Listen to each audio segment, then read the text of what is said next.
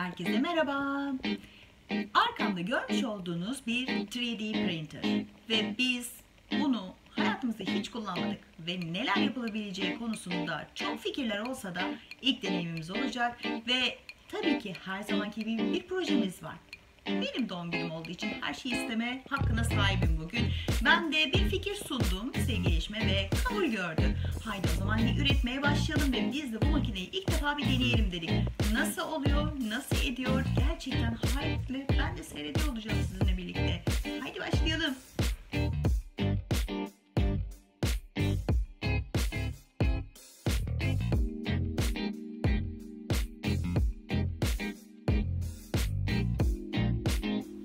ve oyun başlasın.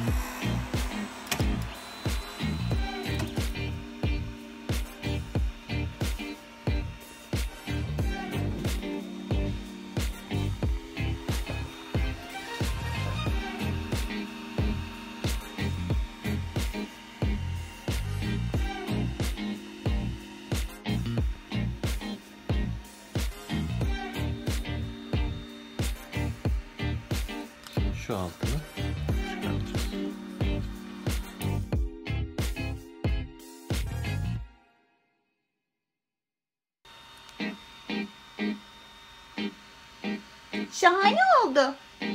Şimdi dibine bir de delik açalım lütfen.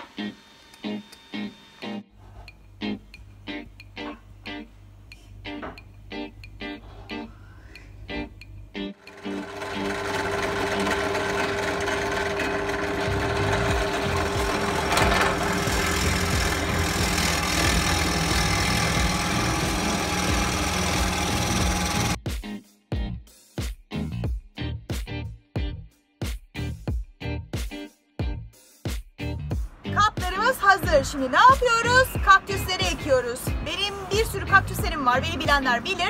Ee, onları çoğaltmak da zaten çok keyifli. Şimdi onlardan çoğalttığım kaktüslerden şu an e, kaplarından çıkarttım. Burada gördüğünüz gibi bunları buraya ekeceğiz. Haydi bakalım nasıl bir doğum günü hediyesi tekrar devam ediyoruz.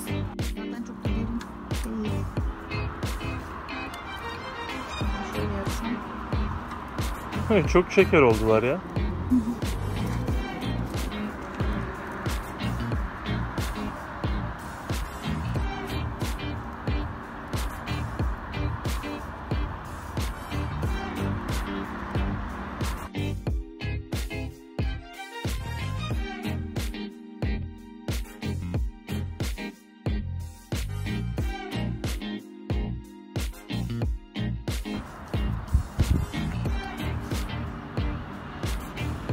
Çok güzeldi.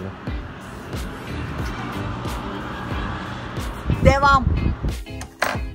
Evet görmüş olduğunuz deliklerden bu ipleri geçirdik. Alttan güzelce de bir bağladık. Ve devam ediyoruz çalışmalarımıza.